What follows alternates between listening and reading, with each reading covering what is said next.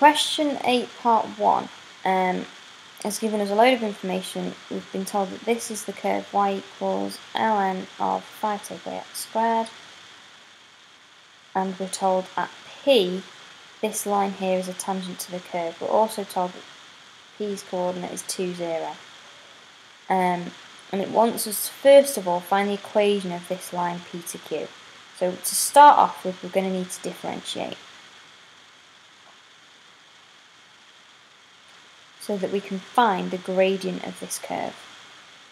So dy by dx equals, um, it's going to be 1 over 5 minus x squared, because anytime we've got a natural log of something, it's 1 over that, but we're going to need to use the chain rule as well, because this isn't just an x, and so we're going to need to times by the differential of this bracket, which is minus 2x.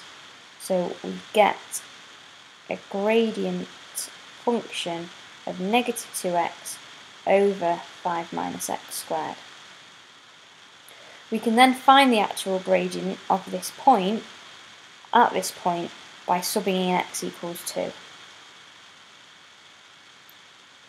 So when x equals 2, dy by dx is going to equal negative 4 over 5 minus 4.